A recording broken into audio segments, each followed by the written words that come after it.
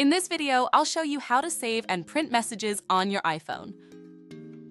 To do this, you need TouchCopy, a powerful Windows and Mac app which lets you print your messages as well as back up everything on your iPhone to your computer. To get started, download TouchCopy from touchcopy.com.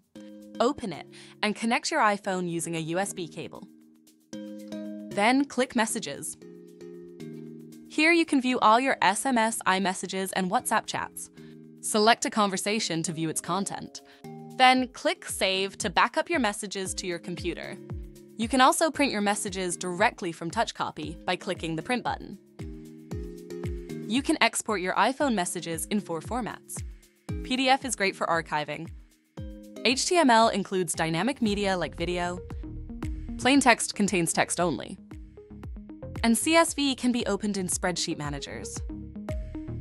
TouchCopy saves everything that matters in your messages, from sender's name and phone number to the exact date and time each message was sent. All your image attachments, stickers, and emojis saved. Videos and audio messages safely exported. Even reactions and inline replies are preserved. To back up and print your messages, try TouchCopy free visit touchcopy.com.